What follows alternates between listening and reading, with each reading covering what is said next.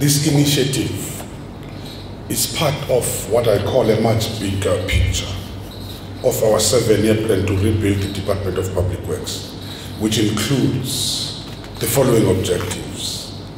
We're trying to rebuild the technical and the professional capacity of public works in the state. We are trying to promote training and skills development in the built environment in line with the needs of the National Infrastructure Plan and the National Development Plan.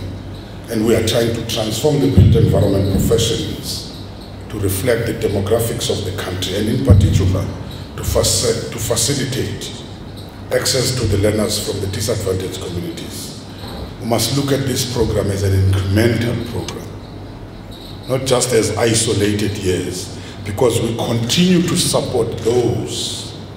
Some are at third year now, some are doing honors, some are doing masters. So we continue with those students. We don't just give them once off, this 40 we have to take them through. So, I mean, the total number we're dealing with now, I think it's about 185 Vangeli. So we continue with those students. We look at their progress like we are going to do with this.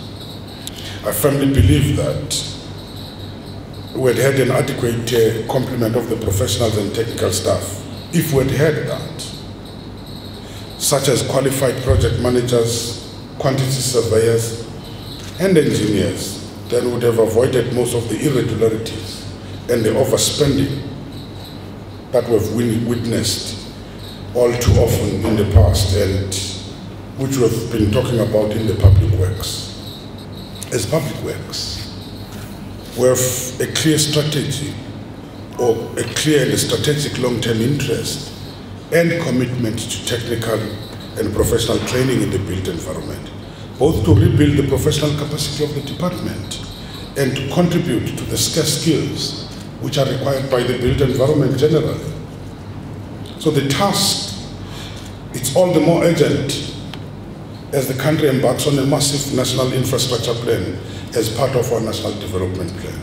So we need to remind ourselves that money spent on education of our children is not simply another expenditure and therefore a drain on the fiscus. Rather, it must be seen as an investment in the lives of the learners. It must be seen as an investment in the economy, and it must be seen as an investment in the future well-being of the society as a whole. Let us never forget the powerful words of our own Tata Madiba. And I quote, education is the most powerful weapon you can use to change the world.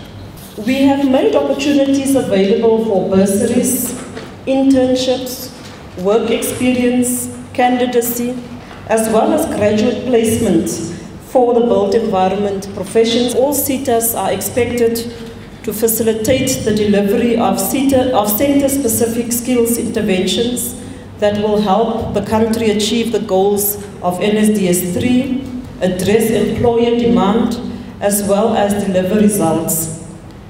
And it is in response to this specific call that the construction SETA has allocated one, more than 1.2 billion rands in skills development in the last two years. This means that we have made the biggest allocation for skills development out of the 21 SETAs, whilst we are not the biggest SETA in terms of revenue income. In relation to bursaries, the construction SETA has allocated in the last financial year 110 million rands for bursaries. These were divided among quite a few entities. In the main, most of the funds went to public entities and the occasion that we are celebrating here today with Public Works where the SETA allocated 9,720,000 to the Department of Public Works for bursary alone whilst we've made an overall allocation of 50 million to the Department of Public Works for various skills interventions. We've also allocated 46,836,000 to NSFAS, 11 million to the Office of the Premier the State, um, 6 million to the Northwest Office of the Premier, among others, and a few others that we've also allocated to your public TVET colleges, your College of Cape Town, which received 4.8 million rands, um, your uh, um, UKZN that had also received funding from the CETA for bursaries.